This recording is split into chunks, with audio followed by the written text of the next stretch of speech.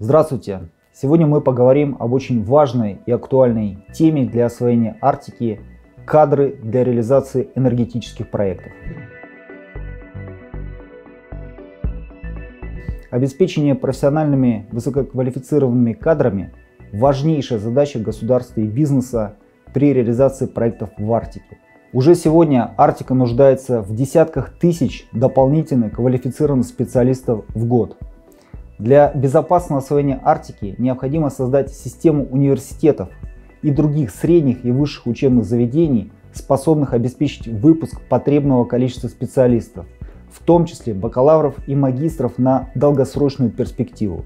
Речь идет о комплексной подготовке специалистов, то есть о выпуске специалистов по геологии и геофизике, поиску, разведке нефтегазовых месторождений на шельфе, специалистов по бурению и заканчиванию скважин на море, обустройству шельфовых месторождений, их разработке и дальнейшей эксплуатации, специалистов по морскому транспорту, включая судоводителей и судомехаников, специалистов по строительству и эксплуатации морских сооружений и сооружений для сжижения природного газа, а также хранения углеводородов, их продуктов, специалистов по управлению комплексными морскими нефтегазовыми проектами, оценки рисков и принятию решений, экономики комплексных морских международных проектов.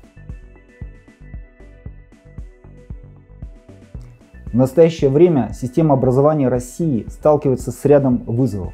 Прежде всего, отсутствие необходимого числа специалистов соответствующего уровня, необходимых для эффективного и безопасного освоения ресурсов арктического шельфа северо-западного региона России. И второе, отсутствие достаточного числа специализированных учебных заведений страны и специализированных кафедр в уже существующих учебных заведениях, способных обеспечить подготовку потребного числа специалистов заданного уровня. Речь идет не только о специалистах с высшим образованием. Ежегодная дополнительная потребность в кадрах со средним профессиональным образованием в целом по арктической зоне составляет от 20 до 30 тысяч человек. Требуются такие специалисты, как судоводители, буровики, строители, высококвалифицированные сварщики, судоремонтники, машинисты спецтехники, электрики, сантехники, водители самосвалов, механики. Если говорить о шельфе северных морей, то там должны работать специалисты, обладающие уникальной квалификацией, потому что жиженный газ и нефть больше нигде в мире не перевозят во льдах. Перевозка сжиженного газа требует практически космических технологий. Нужна криогенная техника. Газ перевозят на судах при температуре порядка минус 160 градусов. Работа с такой техникой требует высочайшего уровня образования. При этом должна быть очень высокая квалификация судоводителей, поскольку ответственность при осуществлении перевозок газа крайне высока. Прежде чем начать подготовку таких специалистов, необходимо начать готовить преподавателей. Нужны учебные суда, а это огромные вложения. Сегодня в нашем профессиональном словаре появились такие понятия, как интеллектуальное месторождение и интеллектуальная скважина. Уже сейчас существует 40 действующих интеллектуальных месторождений в Российской Федерации, которые продуцируют 27% общего объема добычи.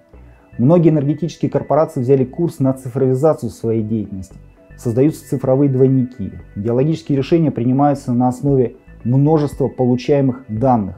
На месторождениях уже работают беспилотные летательные аппараты, роботизированные буровые установки и подводные добычные комплексы, которые обеспечивают добычу нефти и газа без непосредственного присутствия человека.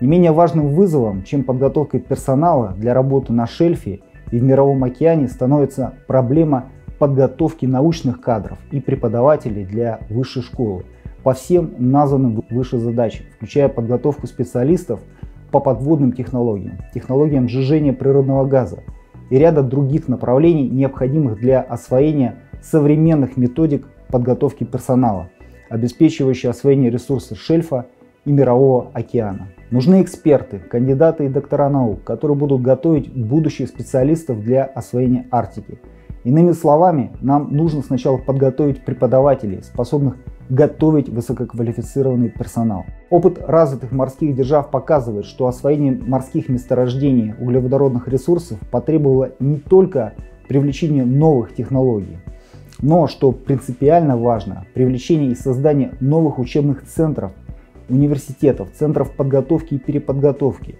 соответствующим набором новых методик обучения и переподготовки кадров для работы в море. В настоящее время перед Россией возникла задача присутствия в мировом океане и на собственном шельфе не только с целью соответствия ведущим мировым странам в вопросах освоения ресурсов, но и с целью независимого экономического развития и проведения собственной технологической политики, что является признаком высокоразвитого государства. Сформулированный вопрос, кто придет в мировой океан, сразу ставит задачу отечественного кадрового обеспечения, способного, во-первых, развивать и осваивать новые морские, нефтегазовые и океанические технологии, а во-вторых, эксплуатировать созданные технические устройства с необходимым уровнем надежности и безопасности всех работ в море, включая, безусловно, экологическую безопасность. Важно принять во внимание, что предстоящие задачи освоения шельфа и минеральных ресурсов океана, судя по всему, будут происходить практически одновременно, что ставит перед высшей школой задачу подготовки кадров как для освоения месторождения углеводородов, так и для освоения твердых полезных ископаемых мирового океана. Разработка и создание новых технологий добычи океанических рудных запасов имеет двоякую ценность. Во-первых, это всегда технологии хай-тек, которые по сути являются самоценными, поскольку представляют собой ликвидный товар на мировом рынке технологий. Во-вторых, разработка таких технологий приведет к изменению инженерной культуры в стране.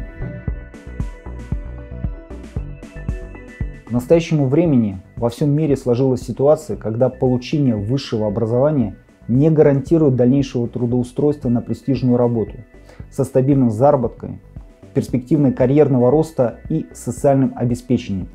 Иными словами, сегодня недостаточно одного лишь диплома о высшем образовании, чтобы считаться профессионалом и быть востребованным на рынке труда.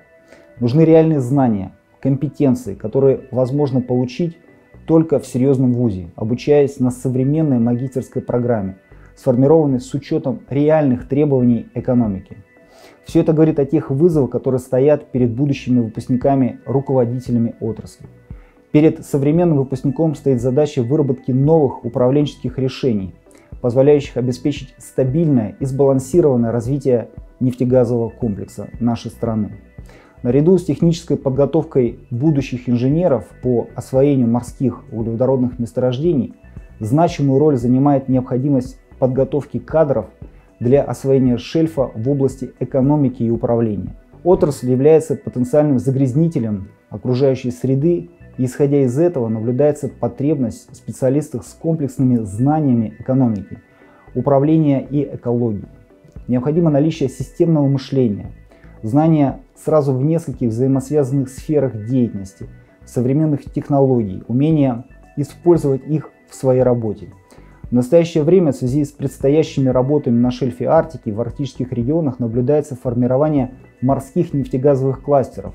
Существует развитая инфраструктура, способствующая развитию нефтегазовой отрасли, энергетическая система, научные центры, проводящие геологические работы, разветвленные по всей территории области транспортные сети, что также требует от молодых специалистов знаний и в области логистики.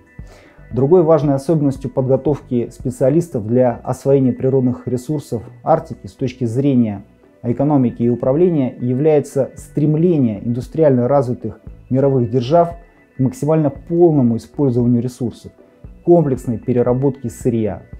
В этом случае молодой специалист должен обладать знаниями в области организации и технологий производства – уметь решать интегрированные проблемы предприятий.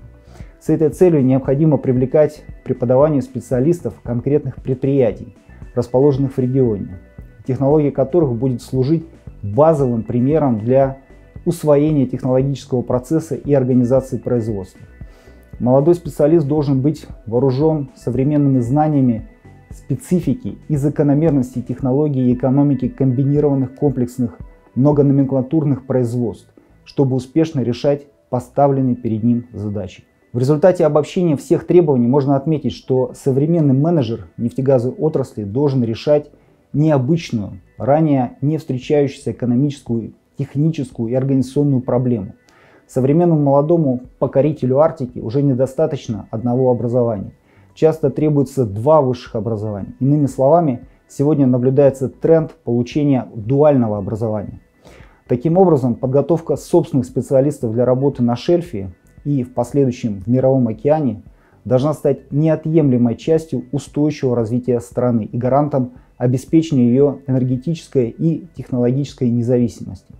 В качестве одного из примеров эффективных вузов, готовящих сегодня высококвалифицированные кадры для развития Арктики, э, можно привести Мурманский государственный технический университет. Его выпускники сегодня востребованы во многих российских и международных проектах.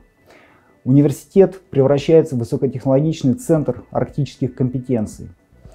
А, сегодня в университете происходит кардинальная перезагрузка. Совместно с энергетическими компаниями реализуется целый ряд уникальных образовательных программ, позволяющих студентам получить необходимое образование с практически гарантированным трудоустройством. Молодой человек может иметь возможность не уезжать из региона. Решение кадровых проблем является приоритетной задачей государства, связанной с развитием арктического макрорегиона. Людям, приехавшим работать в Арктику, необходимо обеспечить комфортную жизнь и безопасность. На севере жить и учиться. Образование – лучший капитал.